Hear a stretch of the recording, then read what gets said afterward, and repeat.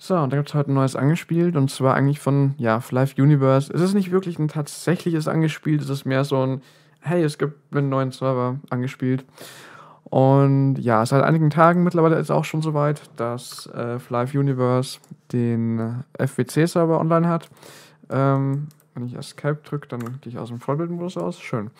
Ähm, genau, auf jeden Fall. Ähm, Live Universe nochmal für ganz kurz für die, äh, ganz kurz für die, die es nicht kennen. Ähm, es ist im Prinzip einfach Office Live, äh, nur als Browser-Version. Ähm, es wurde halt von Grund auf mehr oder weniger neu gecodert. Das heißt, die ganzen Bugs, die es im Office gibt, gibt es hier nicht. Teilweise aber auch schon, was auch wieder lustig ist, aber äh, da gehen wir nicht genau drauf ein. Auf jeden Fall, ähm, dieser Server ist im Prinzip ein Event-Server, der wird nicht dauerhaft existieren. Und ähm, ja, es gibt hier kleine Bonis, wenn man hier drauf spielt, beziehungsweise einige Dinge sind hier einfacher, wenn man drauf spielt. Zum Beispiel sehen wir hier links ähm, die Fly-Weltmeisterschaft. Ähm, es gibt 100% mehr, also doppelte Erfahrung, doppelte Droprate für Item-Drops und ähm, genau, doppelte Upgrade-Chancen. Jetzt gibt es allerdings auch große Kritik an dem ganzen Projekt. Nicht, weil es schlecht ist, sondern eher, weil es halt existiert. Ähm, dieser FWC-Server, beziehungsweise FWC, Flive FWC, damals war ein großes Event. Das war 2000, oh, ich weiß nicht mehr, 2010, 2012? Ich weiß nicht mehr genau. Ich, ich will jetzt nichts Falsches sagen. Aber auf jeden Fall, ähm, es war halt mehr ein einmal, einmaliges Event. Flive Universe äh, hat das Ganze aufgegriffen und macht jetzt, ich glaube, jedes Jahr diesen, äh, dieses FWC-Event äh, jedes Jahr quasi einen neuen Server und diese Server sind halt eben nur temporär. Und im Prinzip, viele sagen, es ist halt eigentlich nur ein Season-System. Das gleiche Season-System, was eben zum Beispiel auch äh, FlyFP-Server haben. Und das Ganze läuft hier x Monate und dann wird das Ganze gemerged auf die Hauptserver. natürlich ist hier viel los, natürlich kann man hier ordentlich leveln und so weiter, aber angenommen, wenn ihr wie ich jetzt aktuell noch irgendwie 4000 Donate-Punkte habt auf dem anderen Server, könnte die, glaube ich, hier, könnte ich hier nutzen? Ich glaube nicht. Ähm, oh Gott, was ist denn hier alles passiert? Ich war selbst schon lange Zeit nicht mehr drauf. Nee, ihr könnt die sogar nutzen. Okay. Ähm, gut, aber natürlich klar, Nachteil, wenn ihr jetzt halt irgendwie Items auf dem anderen Server bereits gekauft habt, wie zum Beispiel Amplis und sonst irgendwas, ähm, klar, könnt ihr natürlich jetzt hier nicht nutzen. Ähm, ich muss aber auch ganz ehrlich sagen, ich bin hier gerade schon echt ein bisschen verwundert, was es hier alles gibt. Ein Abenteuer-Glückselixier, ähm, 100% Droprate von einem Cash-Shop-Item für drei Tage. Heieieiei. Also hier hat sich echt einiges getan und ich muss sagen, äh, ja, es ist halt, es ist halt leider. Also, sagen wir mal so. Flive Universe startet er wirklich als kaum bis gar nicht Pay-to-Win. Ganz am Anfang war wirklich gar nichts Pay-to-Win und die sagten ja auch immer wieder so, ja, wollen wir halt eigentlich nicht und so weiter. Ähm, mittlerweile muss ich allerdings sagen, es ist nicht mehr so, wie die es damals äh, angekündigt haben, beziehungsweise versprochen haben. Ich meine, natürlich, man kann hier sehen, aktuell für 1,7 Millionen Penia, was übrigens gar nicht mal so viel ist, ähm, kann man sich ein vergleichbares Item kaufen, allerdings halt nur halb so stark. Trotzdem muss man halt einfach sagen, so ein Item wird halt einfach bei weitem, wirklich bei weitem äh, für den Spieler mehr bringen und auch wirklich den Spieler weit mehr oder viel, viel weiter bringen einfach. Ähm, und ich meine, wir reden hier immer noch von, ich glaube, es müssten 5 Euro sein. Damals waren es hier 5 Euro, 500 F-Coins waren ähm, 5 Euro. Schauen wir mal kurz nach. Genau, 500 F-Coins sind 5 Euro. Und das ist übel. Also ich meine, für drei Tage irgendeinen, irgendeinen Drop-Buff mit, mit XP-Buff und mit PvE-Schaden, einfach mal ein Fünfer. Ja, drei Tage für 5 Euro. Also, natürlich kann man sagen, so, ja, das sind halt im Monat so und so viel, aber also ich finde es einfach zu viel. Ich finde es ich find's nicht okay. Aber das sind einfach mal so meine äh, meine 5 Cent zum ganzen Thema. Und ich meine, man kann es sich mal ausrechnen. 5 Euro für drei Tage. Das heißt, kannst du nicht mal sagen, so, okay, dann 30 Tage 30 Euro, sondern wenn du es halt wirklich jeden Tag nutzen willst, dann bist du halt bei grob überschlagen äh, 4, 45 Euro roundabout. Ist halt übel. Also 45 Euro, das ist halt ein AAA-Game äh, Vollpreis-Titel. Äh, also da kriegst du halt normalerweise schon echt eine ganze Menge. Und hier kriegst du halt einen Monat irgendein overpowertes Power-Up. Naja. Okay, ähm, auf jeden Fall, ähm, gibt es noch so einen komischen Buff hier zum Beispiel von dieser Torte. Ähm, es gibt hier überall diese coolen Dinge, die hier rumstehen. Ach, ich darf nicht F11 drücken. Oh Mann. Äh, Skype drücken. Ähm, ist ganz cool gemacht. Die haben sich auf alle Fälle hier ein bisschen Arbeit gemacht. Schaut schön aus. Man merkt ja auch so, ah ja, okay, hier ist was Besonderes. Und das Ganze auch nicht nur so eine 2D-Textur, ist auch wirklich so dreidimensional gemacht. Also gefällt mir wirklich ziemlich, ziemlich gut. Ähm, die haben am Wasser auch nochmal gearbeitet, sehe ich gerade. So, Buff. Nope, das wollte ich jetzt nicht. Oh Gott. Oh Gott, das ist un ungewohnt. Ich müsste wieder äh, in einem Client spielen, aber okay. Ähm, die Buffs haben sich hier irgendwie verändert. Also im Offi gab es damals mal alle Buffs auf Level 11, glaube ich. Ich glaube Level 11 war das. Oder nee, Level 7 war das. Sorry, Level 7 war das. Die haben Level 6, Level 5, Level 6, Level 5. Aber auch nur wieder manche Buffs. Verstehe ich jetzt alles nicht ganz. Ähm, gut, ich glaube, die haben mir generell einiges zusammengefasst, aber ich glaube schon, dass es mehr Buffs gab als nur vier hier. Ähm, ja. Natürlich, die Spielerzahlen sind jetzt sehr, sehr gut. Ähm, ich glaube, ja, also 2008 Vibes äh, confirmed auf alle Fälle. Also hier, wenn man sogar mal durchläuft. Ähm, also wirklich wie damals, wo du halt wirklich entweder schon zielen musst, wenn du irgendwie irgendwo hin willst oder wirklich mit, nur, noch mit, nur noch mit WASD laufen kannst. Ähm, das ist halt schon wirklich, ähm, ja, schon witzig irgendwie, finde ich. Ich habe übrigens mein Bild, Bildschirm skaliert, deswegen ist es vielleicht ein bisschen komisch von der Größe her. Ähm, das Ganze skalierte eben mit, das habe ich jetzt auch erst so bemerkt und ähm, habe jetzt irgendwie nicht ganz erwartet, aber naja.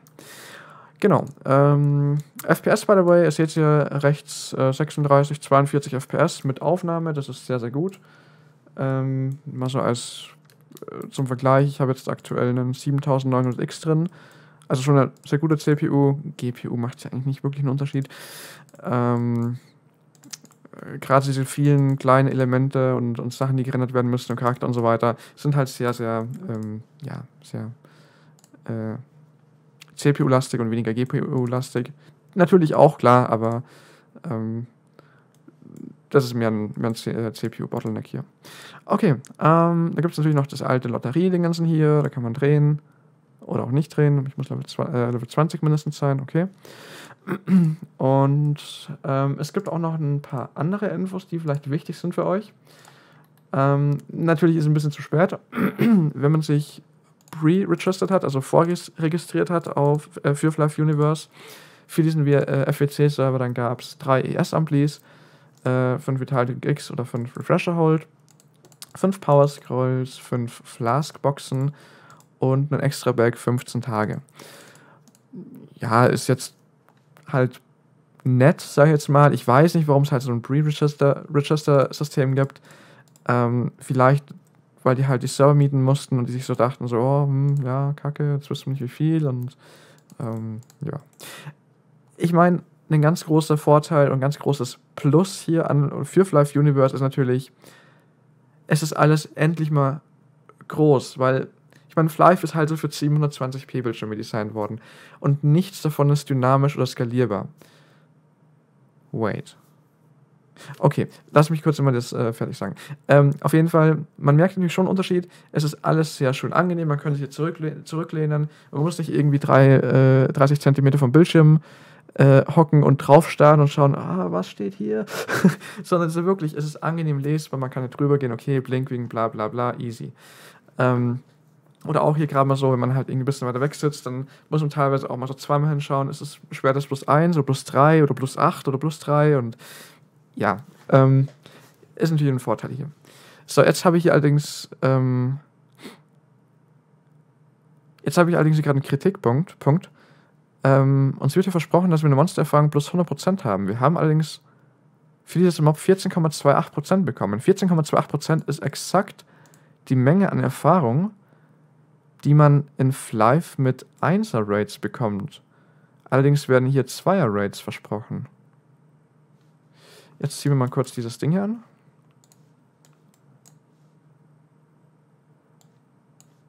Also 27 Attack, oh Mann. Schön, schön, schön, schön. Ähm, ja, wir, wir sollten definitiv mehr XP bekommen. So, und hier muss ich dann das Ganze nochmal ein bisschen ähm, korrigieren. Ähm, ich habe das Video veröffentlicht, ähm, was ihr aktuell gerade schaut, und dann direkt wieder äh, offline genommen, denn ein Spieler bzw. in den Kommentaren hat mir jemand geantwortet. Und zwar war das, Moment, ähm, Bolt Action Knife. Nochmal danke an dich. Ähm, der sagte, in der englischen Version, in der englischen Übersetzung, ähm, steht hier links bei diesem Pfeil ähm, dabei, dass es erst auf Level 30 gilt und nicht ab Level 1. In deutschen Übersetzungen hat man das scheinbar einfach vergessen und auch nicht für wichtig befunden, das irgendwie mal zu ergänzen oder so. Ich meine, das Ganze läuft jetzt auch schon eine ganze Weile wieder. Es läuft seit, ich glaube, drei, vier Tagen oder so. Ja, ähm, das ist ein wirklich großes F an Flive Universe. Ähm, ich habe mich hier in der Folge, die ich aktuell, aktuell gerade schaue, beziehungsweise die ich jetzt gerade ähm, nachkommentiere, ziemlich aufgeregt. Genau, hier sieht man es nochmal. Ähm, hier steht eben die Info mit Level 30 nicht dabei. Ähm, ich habe mich ziemlich aufgeregt und habe auch gesagt, dass es schon echt äh, einfach an, an, einem Scam äh, grenzt oder vielleicht sogar mehr, weil man einfach nicht weiß, ähm, ob halt nur die XP nicht passen oder ob halt eben zum Beispiel auch die Upgrade-Raten nicht passen und genau. Ähm, auf jeden Fall, angeblich ab Level 30 soll das Ganze dann eben der Fall sein. Ich will jetzt nicht extra bis Level 30 leveln, um das zu testen. Ähm, ich bin mir sicher, Spielerstyle macht das oder so. Aber äh, ja, nee, also ähm, genau. Hier habe ich mich nochmal versi äh, noch versichert, um auch nochmal nachzuschauen, wo war das Ganze hier? Äh, hier steht auch so, äh, Server Basic Info, ähm, XP 200%.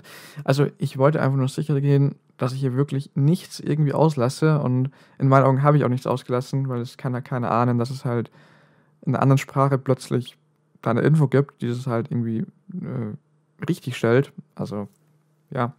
Aber gut, ich habe das Video, wie gesagt, trotzdem offline genommen. Ich würde es dann nicht irgendwie Flive Universe ins Bein pesten, wenn es eben nicht nötig ist. Und ja, genau. Das ist immer so der kleine Punkt.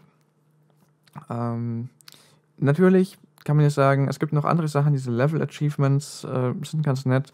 Enhanced Equipment, äh, Equipment Exchange, weiß ich jetzt nicht genau. Ich glaube, das sind einfach Features, die in der Zukunft dann sowieso reinkommen. Ähm, PvE Time Ranking gibt es auf PSO auch schon. Generell, Universe baut sehr viele Features ein, die es auf äh, Privatservern gibt. Das ist nicht schlecht, ist auch nicht falsch, aber ja, ähm, Weiß ich nicht. Also. Ist nett. Ist eigentlich. Ist nett. Das kann man auf alle Fälle sagen. Und auch die Aufmachung und so weiter ist natürlich hier schon ähm, nicht schlecht gemacht. Also von dem muss ich sagen, schön aufgebaut, aber teilweise ein bisschen Qualitätskontrolle wird auch bei Flive Universe nicht, äh, nicht schaden. Ähm, denn es gab halt schon hier und da mal wieder so Sachen, wo man sich so denkt, so, ach, come on, hätte nicht sein müssen, hätte wirklich nicht sein müssen. Aber okay. Naja, ich will auf alle Fälle keinem hier irgendwie den Spaß vermiesen. Wie gesagt, die XP-Rates äh, scheinen dann zu stimmen. Ich habe es nicht getestet, aber ich glaube das denen jetzt einfach mal.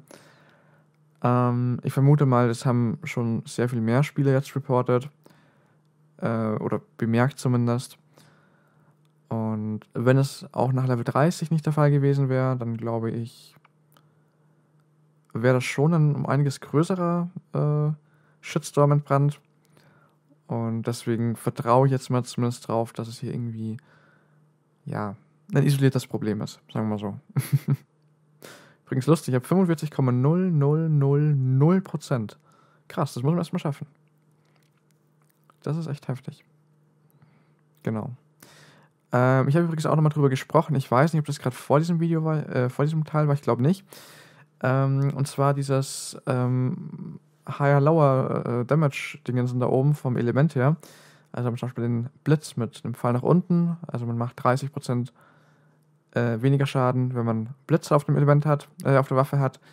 Und ähm, 30% mehr, wenn man eben ähm, ja, äh, Wind äh, auf der Waffe hat. Und ich würde es ganz cool finden, wenn es auch Privatserver übernehmen würden, denn das ist eigentlich ein cooles Feature. Denn man könnte es auch ausbauen jeder mal darüber gesprochen, wie cool das hier zum Beispiel umgesetzt ist, mit wie viel Liebe das auch gemacht wurde und so. Ähm, auch einfach mal, um neben den negativen Aspekten auch was Positives zu sagen. Ähm, auf alle Fälle würde ich es cool finden, wenn man das auch auf Privatzonen umsetzen könnte und wenn man das Ganze ein bisschen erweitern würde. zum Beispiel, dass die, dass der tatsächliche Waffen-Bonusschaden direkt darauf dynamisch berechnet wird. Zum Beispiel ähm, Element plus 1 bringt dann 30% mehr Schaden und Element plus 20 bringt dann irgendwie, keine Ahnung, 70% mehr Schaden oder so. Ähm, und das gleiche für die Suit und so weiter. Das würde ich ziemlich cool finden. Ähm, weil vor allem, ich meine, sehr viele Spieler, und ja, ich kenne wirklich echt einige Spieler, die nicht wissen, und mir geht es teilweise auch so, vor allem bei diesen neuen Icons da, die erst seit zehn Jahren existieren oder so. Ich muss teilweise auch mal googeln, so, was war das nochmal? Was war lila nochmal? War lila jetzt Wind oder, oder Erde? Ähm, verwechsel ich einfach immer. Ähm, genau, deswegen würde ich nicht falsch finden, wenn man das irgendwie einfach ergänzen würde. Und wenn man auch direkt einfach sieht, okay, dieser Bonus von Element plus 18 bringt mir jetzt einfach irgendwie 70%, 60% mehr, mehr Damage. Genau. Leaf Helmet.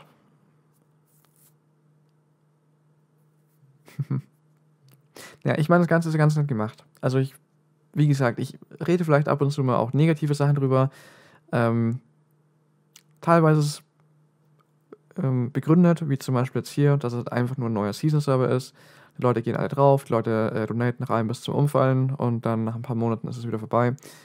Natürlich, die Kritik sehe ich halt schon als wichtig an, aber andererseits muss man auch sagen, ähm, die Entwickler, die für die ganze Monetarisierungsaktion hier nichts können, ja, also macht alles der Publisher. Ähm, die Entwickler haben mir wirklich eine echt ordentliche Arbeit geleistet. Sie wurden halt nur ein bisschen verschaukelt von Gala Lab und jetzt dem neuen Publisher leider, muss man sagen.